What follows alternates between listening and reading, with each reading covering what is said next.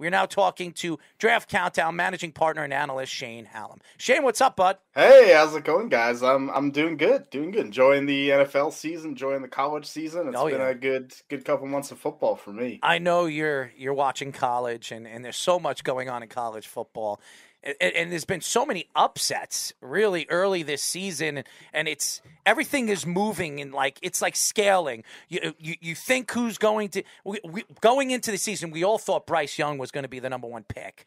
Now it's it's kind of shifting. Some people say he, he's falling to third or fourth, but uh, he he's talented. Uh, the the Ohio State quarterback in um, Stroud, Stroud yeah. who's been fantastic this year. I think he's had what three games with six or more touchdowns, he's which been, I think is the first time in college football history or the last like fifty years. He's been unbelievable. Yeah. I mean, there's so many different quarterbacks going into this year's NFL draft. This is a quarterback class.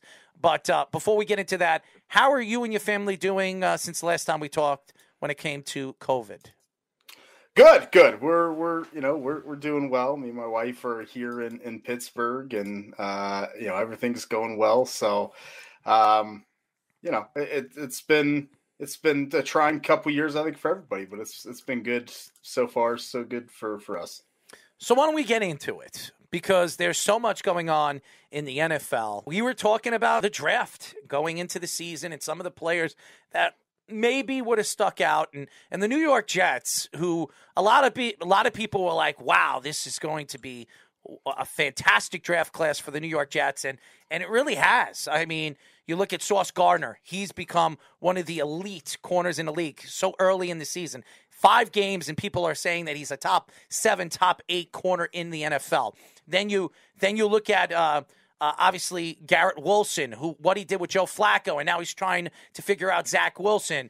Uh, the the the early success that he has had this season, and then Jermaine Johnson. He, he only plays on third downs with the New York Jets, but I think slowly but surely they're going to move him uh, they're going to move him into the starting rotation, and we're going to see a little bit, a little bit more of Jermaine Johnson as the season goes, and then Bryce Young, and then Max Mitchell, and all these young players coming in and, and playing a big part on the Jets' success. What are your thoughts of some of the young players that you've seen in the first five games of the season for the New York Jets? Uh, I think it's been a slam dunk class, um, and I think when you have those three first round picks, obviously trading back in for Jermaine Johnson that helps, but you still got to get them. We, have enough first round picks bust in the NFL and never even see the field. Uh, I mean, Garrett Wilson, I think, has made this offense better, just opened it up more, and teams just can't, you know, focus on Elijah Moore and force Zach Wilson, try to beat them deep. Garrett Wilson's getting open even when he's not getting passes thrown his way. And I think you start to see the connection there with Zach Wilson now that he's back. And I think Breece Hall is hmm. slowly.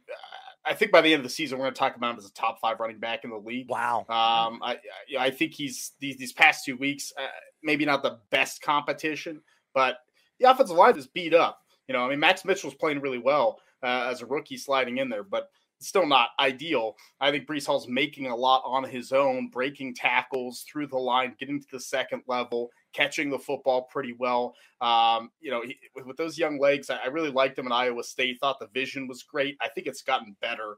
And that when you see that a player like, hey, I think this is really good, and then it gets better in the NFL, I think that shows something for the future. So for, for the Jets, I mean, it's a slam dunk class we'll see where it takes them. You know, I, I think there's still some development. There's going to be some growing pains there, but this is a nice base to build that team around. Before I get to my question, I was say a big fan of that neon sign in the, on your wall. I don't know if you had that last time we had you on the show, but very cool. I, I, don't. I don't think we did. Uh, my wife got it for me for my birthday. So oh, there you go. I don't, Happy I don't have to say my Twitter account anymore. It's right up there. there you go. So uh, my question is: Is there any individual team's draft class that you're surprised so far in the first five weeks how well that they've played so far, and maybe the other way around, you were thinking more out of them and you're disappointed?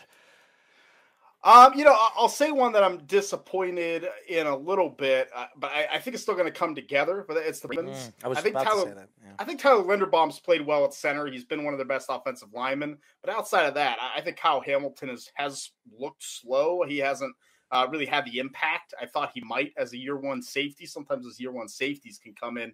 Uh, we've seen Derwin James, guys like that, really have an impact. Kyle Hamilton hasn't done that.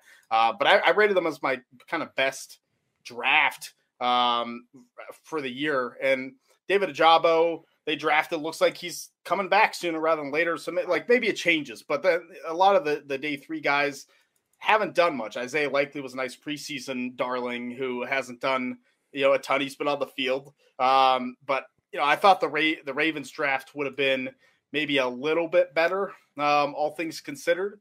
Um, and then in terms of drafts that I, I like that uh, I think have done a little better than anticipated, um, I think Seattle Seahawks have been an interesting one because we've seen Charles Cross, I think, step in day one. I wasn't sure of the fit. He's not, he wasn't a power run guy, but we see Geno Smith and the Seahawks, they've kind of evolved the offense a little bit for with Russell Wilson. Cross has played well. And then Tariq Woolen, the, the corner from UTSA, has been lights out. A guy that ran a 4 3 at uh, 220 pound corner, six four, and he has a hit a pick six. He's been covering some of the top receivers and doing a pretty decent job for being a fifth round pick at doing that. You know, I, am not going to say that he's in kind of that top tier um, Richard Sherman type player for the Seahawks, but I think he has a little bit of that. And then I think we're going to get to see Kenneth Walker now, who I, th- I think's looked good in limited stints, but uh, Rashaad Penny's out for the year. I think Kenneth Walker is going to come in here and really take over. So Seahawks was a, a draft I liked but didn't love. Um, I think some of it's proven me wrong here. I believe Walker is going to be a, play a big part in that offense as the season progressively moves forward. Uh, he looked good when he he had the opportunity to play last week. I think he's slowly but surely going to get first reps at the running back position. I think he's going to be fun to watch. We are talking to Draft Countdown managing partner and analyst Shane Hallam. Shane, you look at the NFL and you, we talk about players that really changed, transitioned some of those teams. Micah Parsons has really transitioned and changed the Cowboys defense. And it's not because of Cooper Rush on why they're winning. Everybody knows that. It's really because of this defense. And teams are starting to see the Cowboys as a dominant defensive team. And it's not because of some of the old players that they have on this line or even some of the new players. It's because of one player. And it, you see that he is attracting some of these, you know, these double, double takes on this offensive, you know, team's offensive lines. So, what are your thoughts to the Cowboys and their success of their defense? I'm a little surprised that it happened so quickly because I think last year, you know, people talked about though the turnovers and that's what kind of made them, but they weren't a great defense. Micah Parsons was good, but the defense wasn't great. I think now once they realized what he can do. It was let's build the defense around what he can do and let him do it. Uh, I talked this summer to Marcus Mosher, who covers the Cowboys, and he, he had a comment that really uh, floored me. He said, I, I, don't think Micah Parsons thought he would be this good. Like he didn't realize that he would be this good in the NFL, that it wouldn't, you know, he wouldn't even need that adjustment. And then now this NFL Defensive Player of the Week last week. Like he's he's getting better, uh, and, and, no one can stop him. Like you said, double teams can't stop him what do you do with that? I, I think it shows you what an elite pass rusher can do because you, you know you can have those safeties play up a little bit and look at the run and you don't have to worry about rushing extra guys. You know they, they're they're really switching the defensive backfield the back seven back eight um, often and that's fine because you have a guy that can get get to the quarterback. That's all that matters. So um, i think it's going to create more opportunities for the cowboys. And, and if like Cooper Rush is doing what he has to do, but if Dak Prescott can come back and be more more effective, get the ball down the field more, make this offense more dangerous, they they could be a dangerous team uh, in in what's become a pretty tough division outside of the Commanders. Mm. So uh, let's go to their opponent in the LA Rams. So a lot of people thought their offense would still be very strong this year, getting Allen Robinson, getting Cam Akers healthy for Horrible. a full season, but They've they have horrible. not looked good so far outside of the Week Two game against the Falcons. Are you worried about them or their offensive line, Matthew Stafford, or anything else like that? And you can you see them maybe not even winning the division because of it? I, I don't think they win the division. I think this is what happens when you give up all those draft picks to bring in players. Um, it, it, can work. You won the Super Bowl. Like it was worth it. It doesn't really matter. You won the Super Bowl. You got the trophy. It was worth it. But now, long term, you don't have those young pieces to build around. The offensive line is either older or not as talented, and we're seeing those cracks. I mean, they they could not stand up to the Cowboys whatsoever. There's no way that they were going to do anything offensively. Um, you know, you have a guy like Cam Akers who was super promising, has the Achilles injury, is definitely not himself anymore. Well, you, you can't replace him. You don't have any draft picks to draft another running back. You, you know, you, you can't do it. Um, I think that's that's the problem. Is now now the team's getting older. You know, you traded some of those picks for one year rentals. It, it, it's becoming a problem when like Ben Skowronek has to be a central part of your offense um, it, it's an issue. And Cooper Kupp's great, but he can't do everything, can't win you, you games. Um, I think the Rams are in trouble, and I, I, don't think it's just this year. I think the Rams are in trouble hmm. long term. Uh, they could be one of the worst teams in the NFL in three years. I think it's very possible because the, the, the cupboard is pretty bare on this team in terms of youth and players that are going to develop into stars. I'm not sure we have any anymore. Like Bobby Wagner and Aaron Donald are going to retire sooner rather than later, and they're going to be left with nothing on either side of the ball outside of Cooper Kupp. It's a problem. Shane, you look at the Buffalo Bills, and and obviously Josh Allen is an MVP candidate. He's been fantastic uh, early this season. He's done everything he can to really show his talent, even without Daboll over there. And you know, obviously he's winning games for the New York Giants. Who would have thought that? Four and one New York Giants. But uh, nevertheless, you, you, see what how talented Josh Allen is, Diggs and and and Davis, all these guys that he has, and the weakness they have is the running back position. And now you heard uh, that they reach out to the Carolina Panthers. They're interested in Christian McCaffrey. Who knows what happens before the trade deadline, which is very very early in the season. So this could happen very very soon. Where do you see the Buffalo Bills? Do you think the Buffalo Bills are as unstoppable as everybody thinks that they are?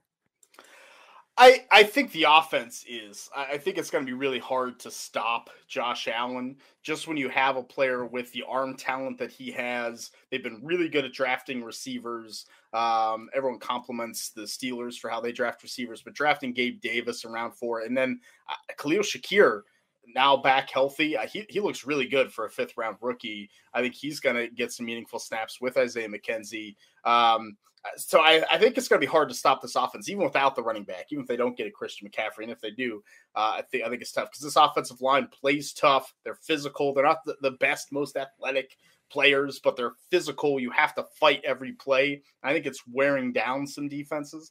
I, I do think there are some parts of the Bills that can be exploited. I don't think they're unstoppable. I, I, think we'll see this week against the Chiefs. I expect another, you know, shootout matchup. I think the Bills defense is good. I think Von Miller has added a pass rush dimension they didn't have, especially when they have such big, long, you know, physical linemen up front. It helps when you have someone like that that can free up those those guys. Um, but I think the secondary has some issues. Um, I think covering one on one is not a strength of theirs. So when they face a quarterback that can exploit those matchups, it could be a problem. Teams could outscore them, like what happened in the playoffs last year.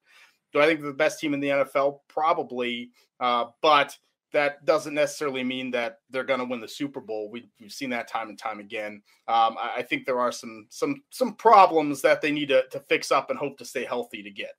So, what about your team, the Pittsburgh Steelers? They haven't looked good oh, on the God. season so far, but uh, Kenny Pickett finally got to start. Uh, he came into the game against the Jets in the second half of the season after Mitch Trubisky really just played like Mitch Trubisky, pretty much. so, what have been your impressions of him so far?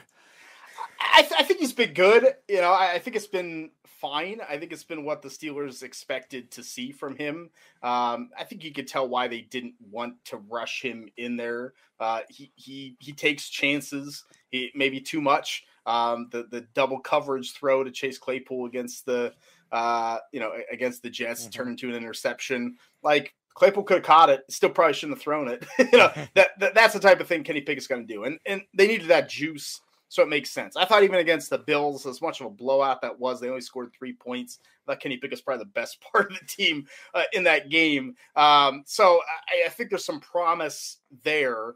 Uh, the, the problem for me is the rest of the team is just either bad or hurt. You know that, that that's the problem. Um, Diontae Johnson still dropping passes the, the offensive line, I think, played better than last year, but it's not good enough to run the football, which they can't do at all. Najee Harris is, isn't healthy, and the secondary is one of the worst in the NFL.